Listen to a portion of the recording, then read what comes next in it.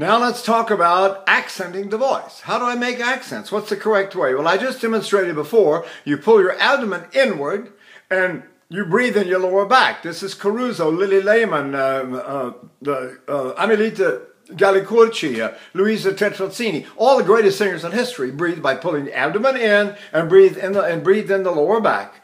If I do that now, and I'm going to have to accent my voice. So I learn how to do staccati first. Breathe, lean the breath, ah, ah, and then do staccati.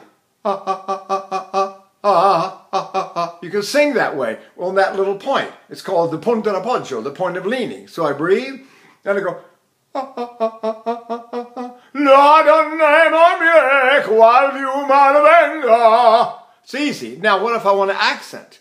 I mustn't accent in a way that the breath ever comes up on my throat. So I direct my breath against the, the punta d'appoggio, and I do it with an accent. In Italian, they call those hard staccati martellati, hammered notes. So I breathe in and go.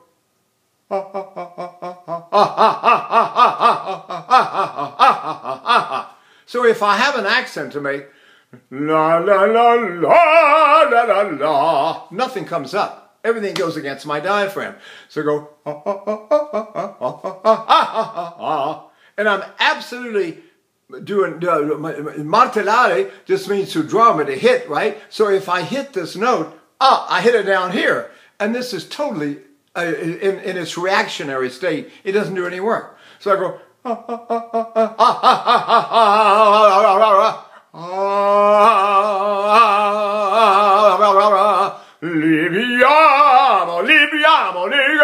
If I want to accent, I do it on my diaphragm, and before I sing, I take a breath behind me, and I lean my breath in front of me on my diaphragm, and I breathe, suck it down, or do it silently, small,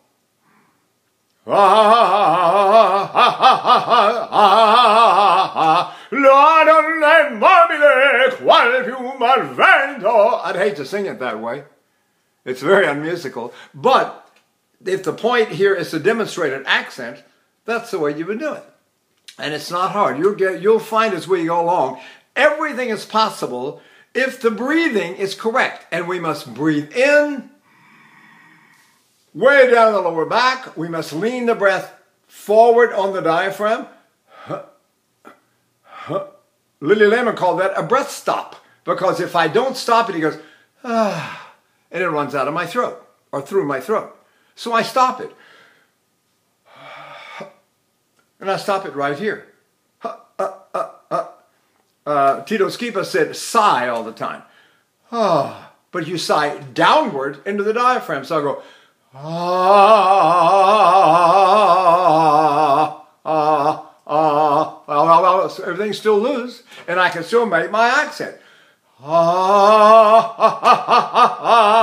Right? When you have dramatic music to sing and you want to hit a big note, you hit it here, not in the throat. I'm Schritt that he's mir der Vater.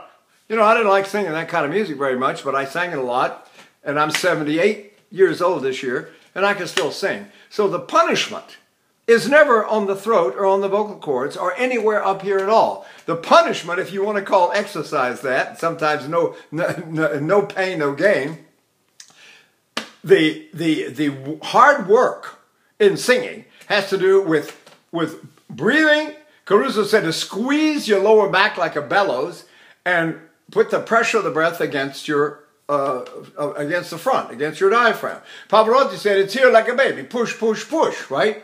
A lot of singers, what's this? Keeper said, a sigh there. Ah, ah. So we find all these people talking about uh, activating the breath in a way where it goes in down the back and goes out down the front. Breathe in and go. Ah, ah, ah, ah.